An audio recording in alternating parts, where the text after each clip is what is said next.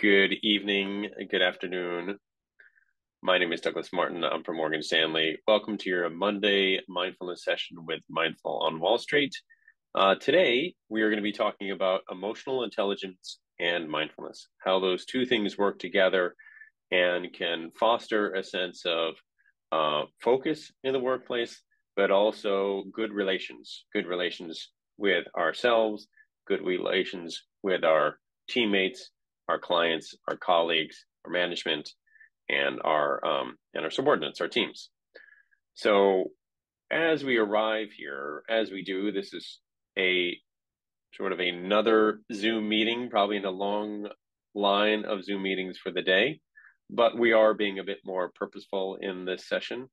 So we want to take a moment as we do just about every week is a moment to arrive. So we're just going to start with a sense of arrival. And that just means that you actually put your mind and your body in the same place and maybe do some slight physical cues to engage yourselves, immerse and kind of immerse into this moment, right? So we're first just making a commitment to be present, to actually be here, where our mind, our mind and our body in the same place. And that might be doing things like taking our phone and putting it face down so that it's sort of not a distraction device. And it might be closing some team chats or those kind of instant messaging going around, or our work notebook, or our um, laptops and computers and that kind of thing, and just focusing on whatever screen we're using to engage in this particular session. So try to single screen, single focus for the next 28 minutes or so. And then actually just taking a look around the room that you're in right? That you find yourselves in, like, I'm here, right? We're here in the Zoom. We're also here in a physical space. I'm at 1633 Broadway in Midtown Manhattan.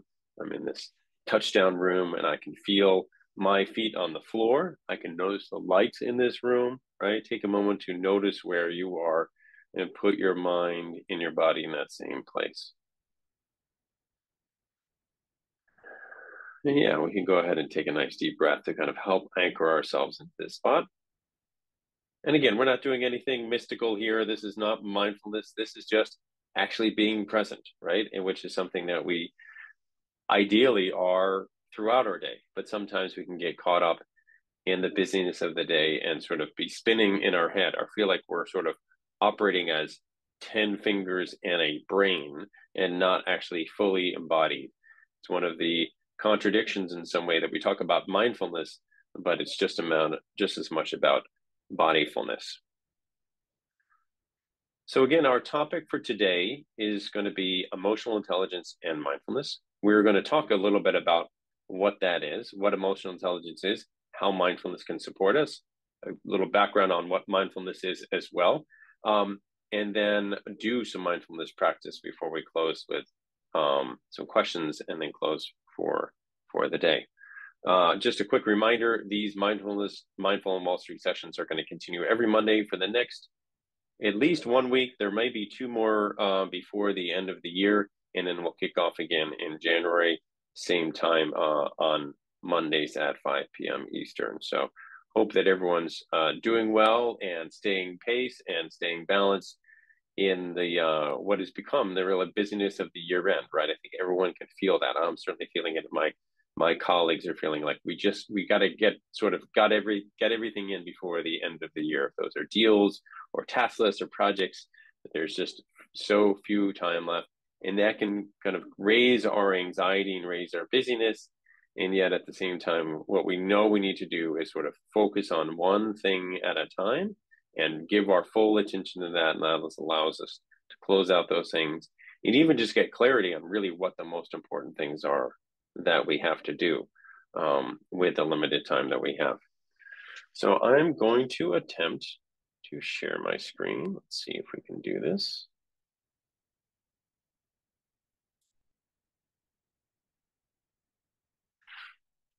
I appreciate if anyone can give me sort of a validation that they can see my screen. That would be helpful. Great. Um, so we're taking that moment to arrive. I'm actually going to skip over this and just go right into um, what emotional intelligence is. right? We don't have to read the full definition here, but it gives a sense of what are we talking about around this this term. It's been around since the late 80s at least. Um, it's something that continually talks is discussed in the workplace, especially around year end when year end reviews are happening. Sometimes we actually use the term EI or EQ. Other times it just comes out uh, as we're doing reviews with our colleagues, with our um, with our with the people that we manage, or by our management around really how it comes often is how we engage with others. How do we sell our ideas? How do we deal with conflict? How do we communicate effectively? How do we persuade and influence people to our point of view?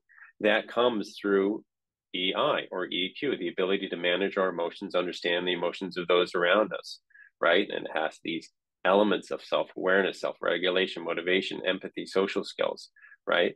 Those that have high EQ can understand what's happening in themselves and can what uh, they can understand and tune in to what's happening um, in those around them, right? They have that ability to quote unquote read the room, really understand what's going on, and then change and pivot. And you, so you're going down one road and you you know you're not making progress, that people have shut down, they're not interested, they hooked up their phone, they're starting to multitask, and you stop, pause, notice that, notice that anxiety or intention in yourself, and can work with that situation. That's really the idea of having a high EQ or EI.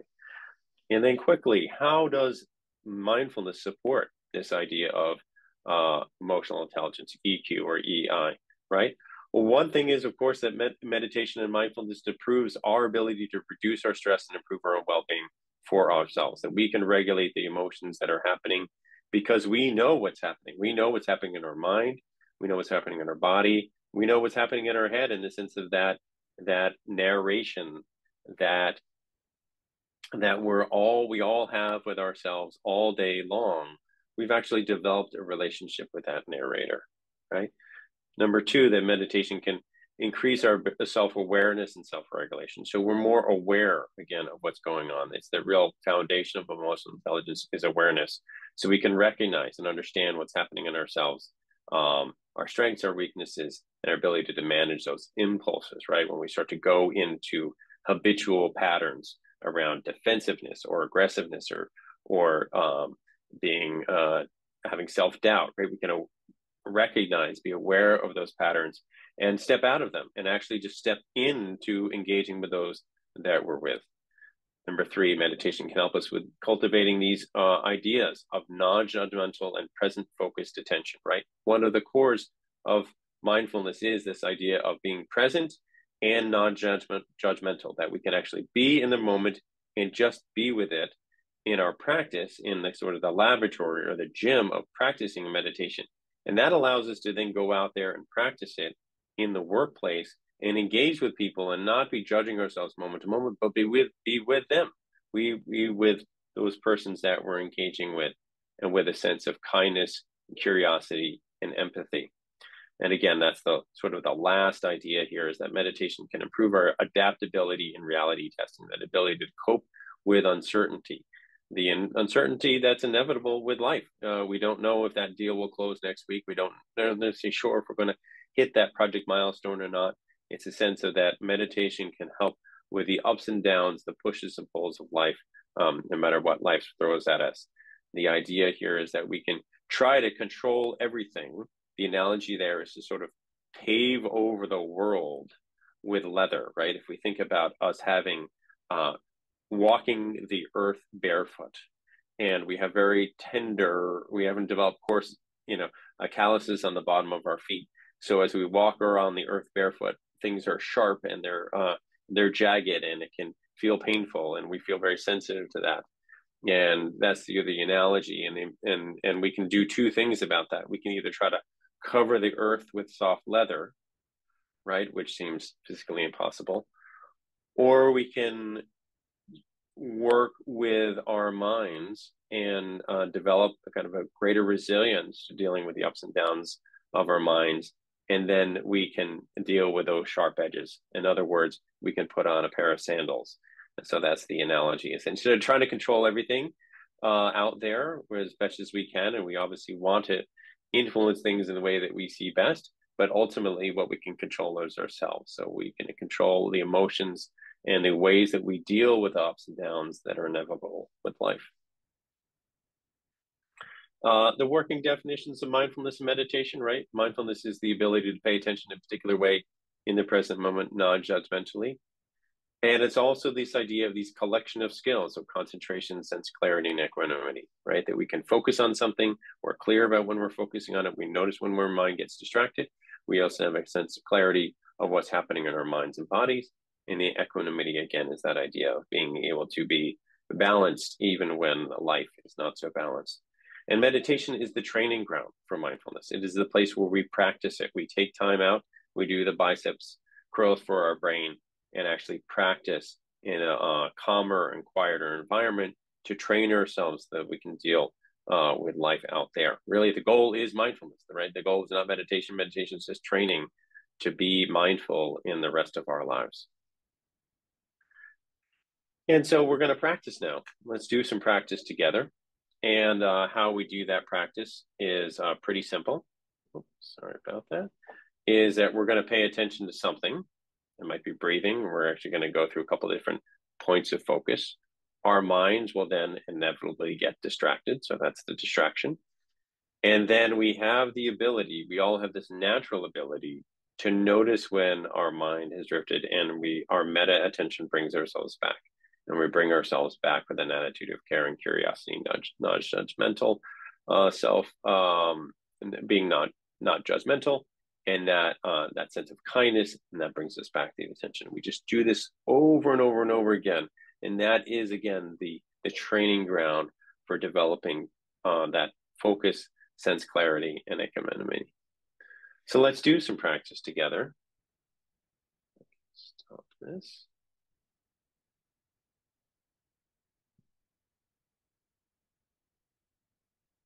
I think I stopped the Zoom. Good. And let's go ahead and do that. So we're just going to take an upright yet relaxed posture. And just sit here for a second with your eyes open. We're not doing, again, this is still pre meditation, pre mindfulness. We're just putting our feet on our floor, feet on the floor, upright yet relaxed posture, just getting a sense of ourselves in space, sort of looking straight out.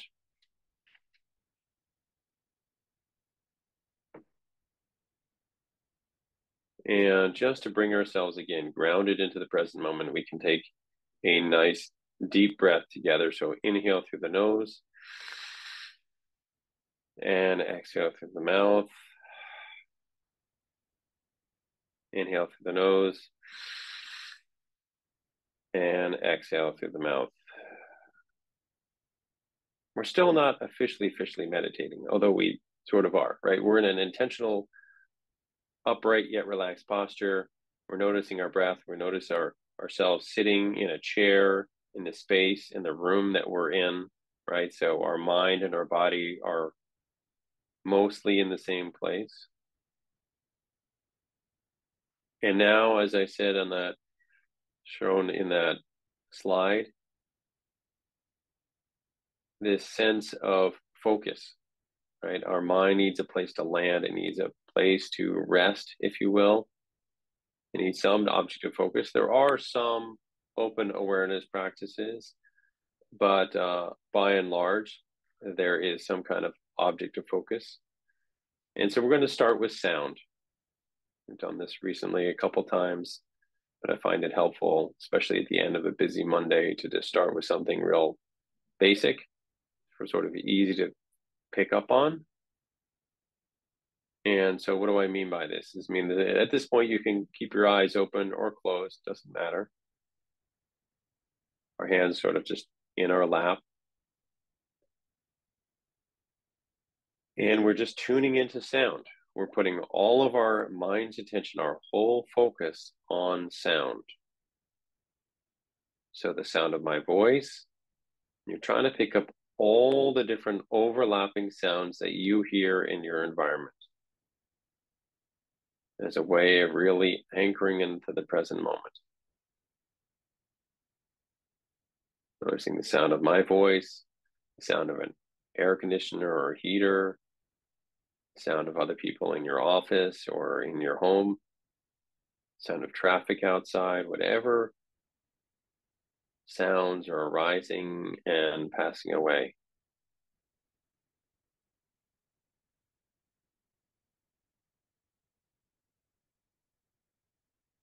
And we're using this idea, this sort of um, point of view, if you will, of non judgment, right? These sounds are not for us or against us. They're not friends or enemies. They're just sounds that are arising and then passing away.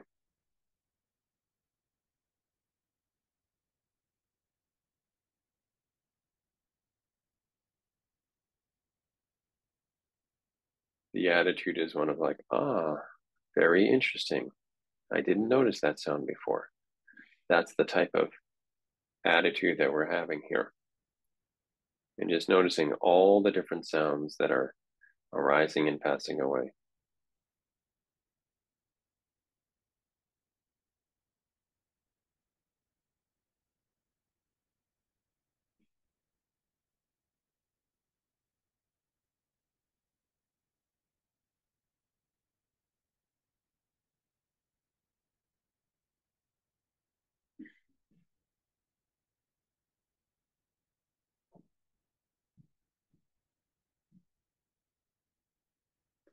Notice that we don't have to actually make a great deal of effort to notice sounds. They sort of just they just come at us. They just appear. And as quickly they pass. And then new sounds appear.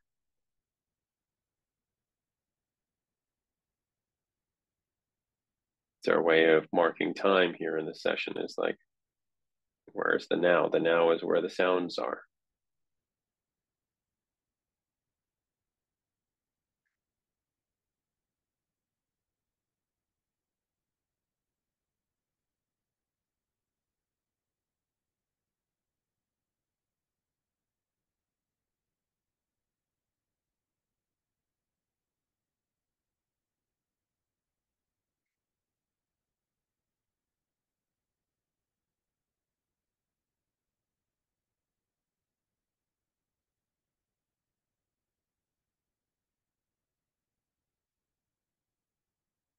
right? How many different things can we notice? How many different sounds can we notice in our environment? It starts to get quite subtle.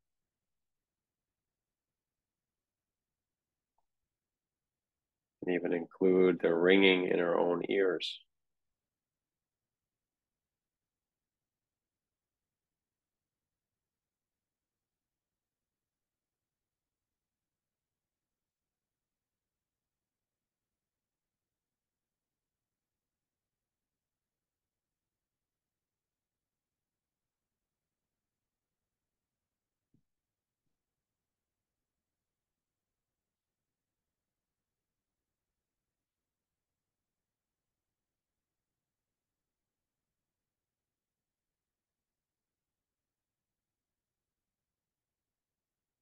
Allowing ourselves to be wide open to sound.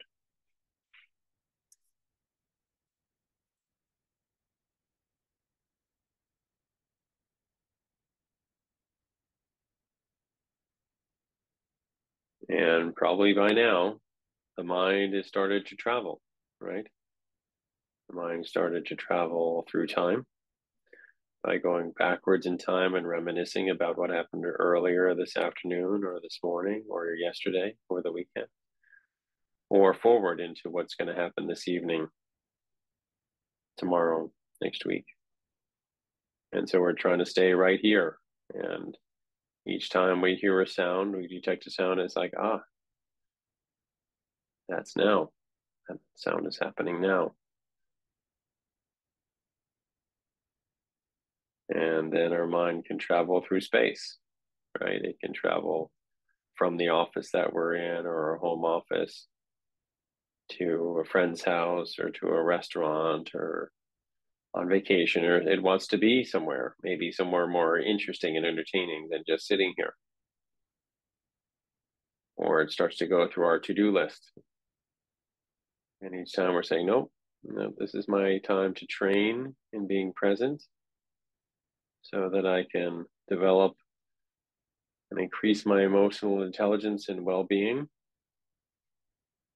And actually, there's nothing wrong with just sitting here.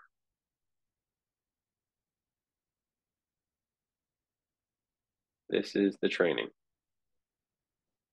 We're learning to stay, as Pema Chodron says.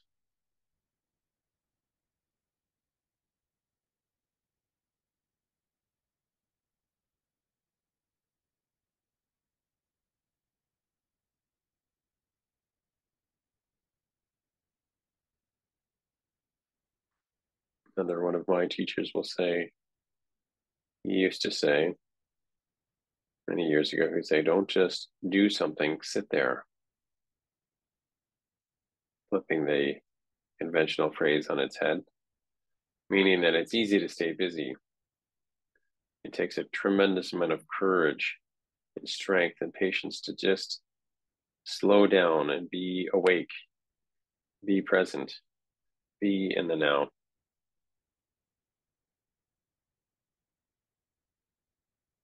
And again, this thing has benefit unto itself. It has benefit to us physically in a sense of it's fostering, uh, regulates our blood pressure, immune system, our digestion. The this goes on and on about the medical benefits, but there's also these emotional intelligence benefits that allows us to be like really with ourselves. Right? We don't have to be scrolling when there's a moment of uh, lack of entertainment. We can simply just sit with ourselves and then notice what's going on around us,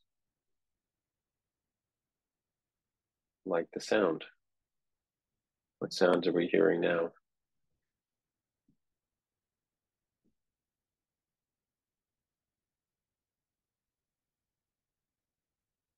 For the last few minutes, we'll change the object of focus to probably the most popular, I think, object of focus, which is the breath. So again, basic idea, we found an object of focus that's that was sound. Now we're going to shift that to breathing, the physical action of breathing. The body does this all day, every day, and now we're just going to pay attention to it. So we actually get really clear in our head, in our minds, like we would if we are trying to clarify an argument. We get really clear and precise about when our body is breathing in and when our body is breathing out. And we can feel, we can detect the sense of breath, the movement, the wind. Try to find exactly where you feel the breath.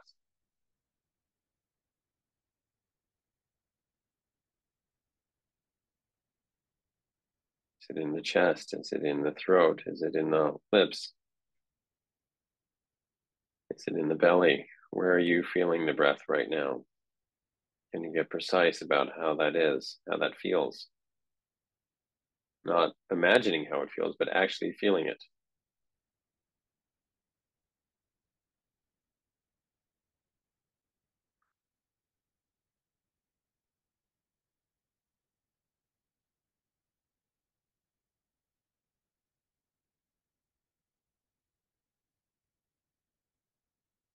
Optional adjustment here is to actually label it in and out as we breathe in. And then there's a gap, and then we breathe out. Feel free to label that or to stay labelless.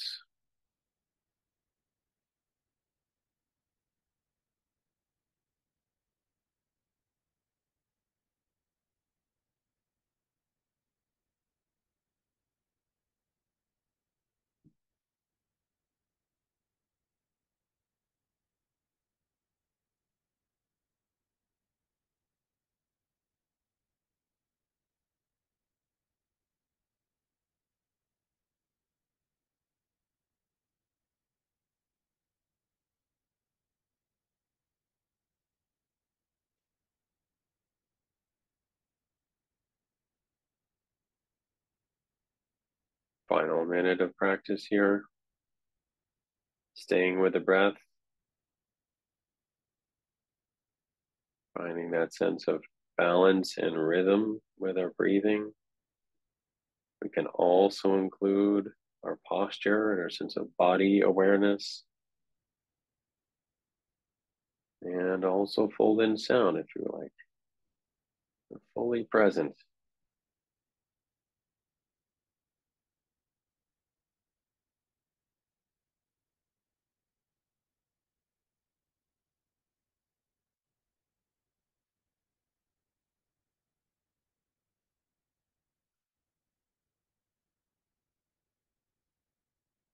Okay, we can raise our gaze and open our eyes if we had them closed.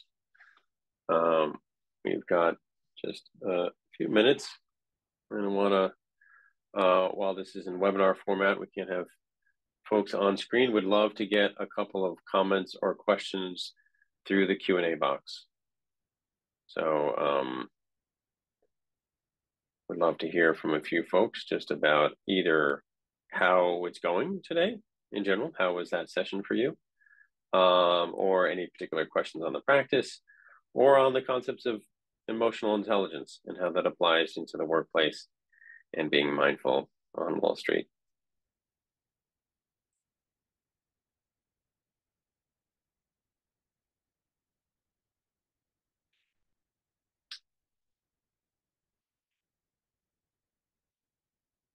All right. Thank you, Julie. So just a comment, look forward to this every Monday. It helps me take time to, uh, during other days to stop and meditate. Yeah.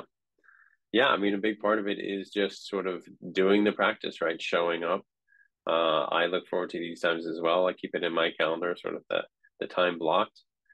And, um, you know, it's about, uh, seeing, you know, seeing the progress over time by sort of logging the time, right? You need sort of need to put in the time, whether that's you know program learning how to program or practice the piano or practicing a sport. It's all those things. You know, you're gonna need to kind of put in the training, and then there's no mystery about it. There's no like sort of hope or magical things. If you of kind of train on being present, your mind will learn how to be more present. There's no sort of uh, hope or mysticism about it. You can sort of put in that time. So regularly scheduling the mindfulness practice into your busy days is a way of building that habit. You know, she's also saying about seeing you all at Rockefeller University. Um, and Olga, Olga is also saying definitely hard not to keep busy for folks like us. Um, doing, doing, doing with a calm mind is hard. Yeah, it's difficult, right? Because we are, uh, by our very nature of being at large financial service companies um, tasked with a lot of responsibilities, expected to deliver on a lot, especially this time of year. And that means it seems to be hard to slow down. And yet we know that that training, taking time out to sharpen the saw, as Stephen Covey used to say, is the very well to uh, very way to get precision and to know what to focus on um, instead of just uh, doing, doing, doing. We have to decide actually where are we're going to direct our attention. Um, and thanks for reminding us that doing nothing with the mind is important. Yeah, it is a sort of nothing. It's also so, quite something to be training in this way. It's both at the same time one of those mindfulness mysteries or mindfulness uh, seeming contradictions. All right. Well, we'll leave it here for this week. Again, we have at least one more Mindful on Wall Street session uh, scheduled for next week, December 11th. Thank you so much for joining today. Look forward to seeing you next week. And again, we will continue these sessions uh, in January of 2024 as well. If you have any uh, questions, comments, suggestions, please send them our way. We read them all and we really take those to heart. So hello at mindfulonwallstreet.org is the email address. And we uh, look forward to seeing you again soon. And thanks so much for attending today. Have a good evening.